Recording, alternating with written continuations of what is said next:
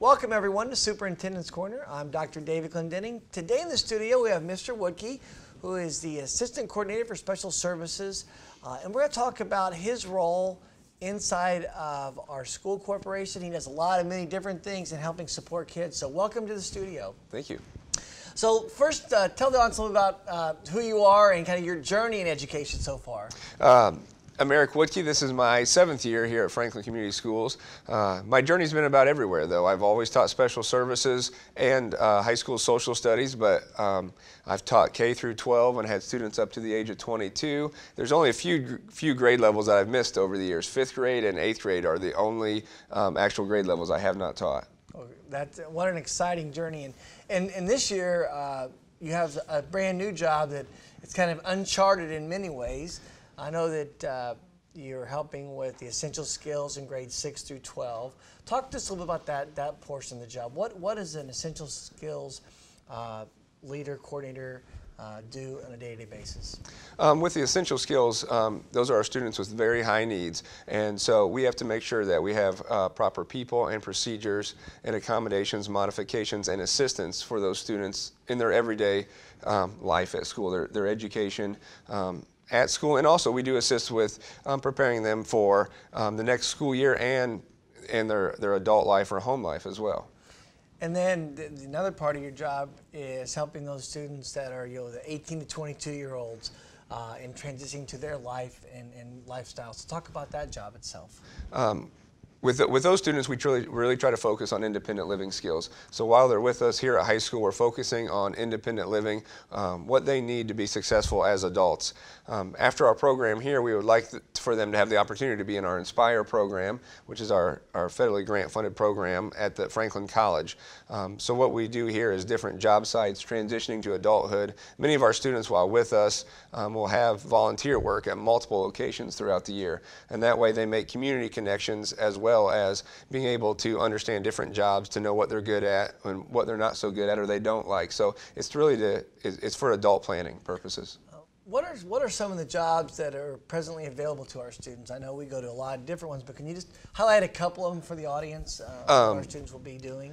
You know, we do we do several different jobs. Um, we work with government agencies or, or county agencies. Um, one of them that is new and exciting to us is, is the library. We're going to be volunteering at the library and doing a lot of different work there. Um, another one is a local company called Middle David's Candle Shop, and we do a lot of pack packaging and labeling. Um, Goodwill is another job, job opportunity that our students have, um, and it's more retail, it's stocking and purging of clothing and items.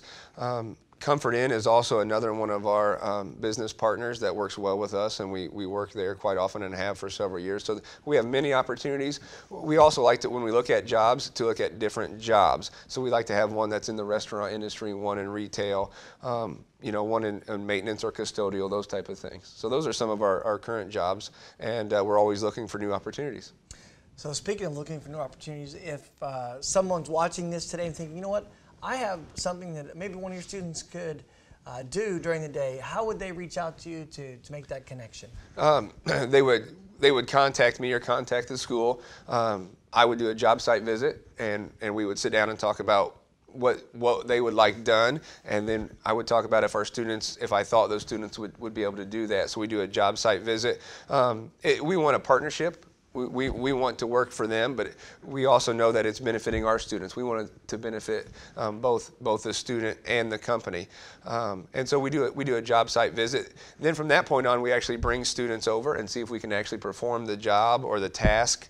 Um, and, and then if, it seems to be going well, we, we have the students attend on a regular basis. And with a job coach, we always have an adult with our students. And it's normally one to two students up to an hour and a half.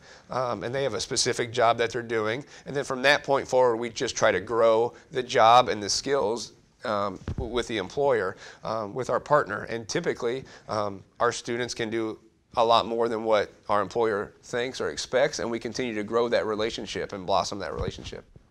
You know, one of the, the, the persons that uh, kind of led us into the Aspire program was uh, um, now at the college. Correct. Talk about the college program. Uh, I know that we have college students helping, but I'm sure the audience doesn't understand all the dynamics of uh, Franklin Community High School students going to the college and participating in the day in life there.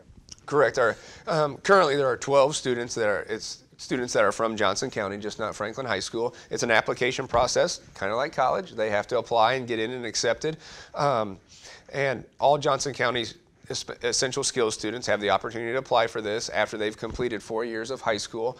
Um, with essential skills students or students with special services, they can stay in school until the age of 22. Um, that is awesome for those students, but also after four or five years of high school, those students are ready to move on. Um, and so in, in this program, they are able to move on with their peers, the ages of 18 to 22, people their own age with their own interest, you know, at the college level. So once they get into the program, um, they perform work study jobs there just like other college students would to earn an income. Um, they also do have some community job sites as well. Um, they have a, they're in a peer mentor group just like a freshman would be, so they have a peer mentor group and they also have peer buddies that's very similar to our best buddy program here at the high school, but they have that at the college level as well. and we also they are have the opportunity even to audit some classes. Um, some of the students are in a PE class. Um, some of the students are in a, a science class. Um, there are some art classes that are available and some other classes that some of our students will be taking and auditing to get that feel of what it's like to be in a college class. Um, so they're, they're housed on campus, they go to classes, they go they're, they go to ball games, they go to, they're considered a college student, but in reality, they are still one of our Franklin High School students. So it's a neat transition to see them in that environment around their peers, um, around in their next journey in life. What, what's the future of the programs that you oversee? Where do you see them in a year, two, three years from now? Um, the future of the programs uh, I see that the school has allowed this role, created this role because they want this this program to grow and to flourish and to be more expanding. That's why we we have a transition adulthood program, our voca- our, uh, our program where our kids are out getting jobs. Um, we have our Inspire program. Um, we just have all these needs our kids need to expand. Um, and then with our students who are in the, the the general education setting, we need to provide um, our accommodations and modifications and training to get those students to our to what the state wants us to do and what's best for those students to succeed in college or the workforce or the military as well. Um, so it's we have outside of the classroom and inside of the classroom, um, you know, issues and concerns that we're trying to um, move from that good to great parameter as well. And we really have seen a growth in this in this program area uh, because of leaders like Eric um, and what he's doing. And one of the things I think people don't realize is that um, essential skills students, they have an opportunity to do many things. Yes, they go to class, but they can also participate in other activities. You mentioned one, the Best Buddy. Uh, for someone who has no idea about Best Buddy at the high school, can you talk a little bit about what's a Best Buddy program? Yeah, our, our Best Buddy program is fantastic here. It's one of our biggest clubs in the school. Um, students who would like to assist or help or mentor, or be friends to other students with disabilities, other kids who are different, become part of the part of the Best Buddies program. It's a student-led group. Um, they go to national trainings, um, state national trainings, and um, they meet typically twice a week. They play games. They take them places. They become their friends. They sit with them at lunch. Um, they're just a, a, it's a great peer um, program. The nice thing is we also offer a peer mentoring class that our general education students take for a credit. In this class, they learn about all kinds of different children and adults with disabilities and differences. Um, and that a lot of those students who are aware of this and have an awareness then become our best buddies board members. which then in turn creates a different school culture and climate and atmosphere here. And it's just a really neat program and how it all interconnects. It does connect. And that speaks to our guiding principle of individual student growth and trying to get kids through all walks and all experiences, all abilities to reach their full potential. Best Buddies does a great job of that, and it's because of teachers and leaders like uh, Mr. Woodke. Um, as we get ready to close, um, there are resources that you sometimes need and, and opportunities. Um, can you just tell people again how to reach out to you if they have an idea or a resource they want to help uh, either with Best Buddies or with the Aspire program or connecting with essential skills students for future jobs, how do they contact you? Yeah, again, it's Eric Woodke. I'm housed here at Franklin High School. If you call the main office, they'll be able to get you. My number is 346 8002. And we have all kinds of new and exciting opportunities. We'd love to have uh, new businesses in Johnson County, you know, meet partners with us.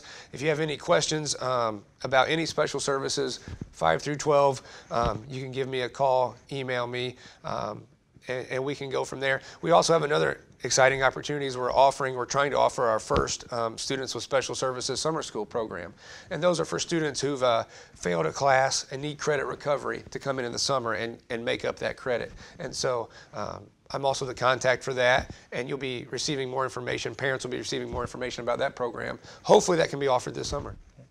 So as you can see, there are many, many great things going on. And I do believe our journey of good to great uh, is being benefited and uh, th- achieved through the, the works of Eric and, and mo- most importantly for the students. You've been watching Superintendent's Corner. Thank you and have a great day.